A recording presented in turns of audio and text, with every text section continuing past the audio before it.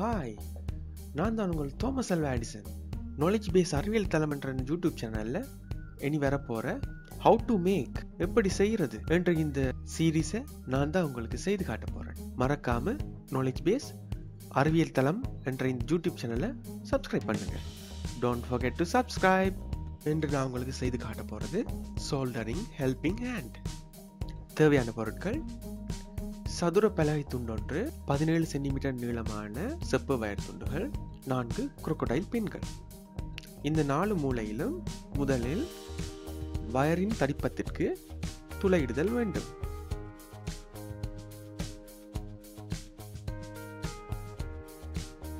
துளையிட்டு ரெடியாக உள்ளது.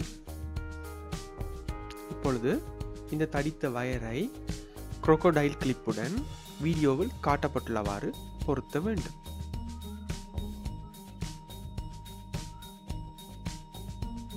பொருத்திய பின் குரடினால் சரி செய்ய வேண்டும்.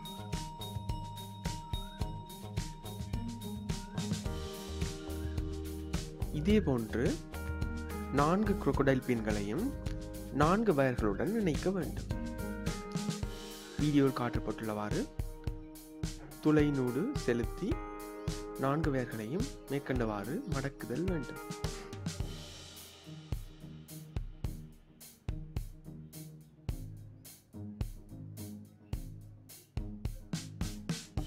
க்ளூ பயன்படுத்தி வீடியோவில் காட்ட முட்டுதல் வேண்டும். இதோ உங்கள் சோல்டரிங் ஹெல்பிங் ஹேண்ட் ரெடி இப்படி பயனுள்ள விடயங்கள் செய்கிறது எப்படி என்று பார்க்க விரும்புறீங்களா? சப்ஸ்கிரைப் பண்ண மறந்துடாதீங்க அடுத்த ஹவு டு மேக் என்ற எபிசோட்ல உங்களை சந்திக்கும் வரை விடைபெற்றுக் கொள்ளும் நான் உங்கள் தோம் செல்வா எடிசன் பாய் பாய்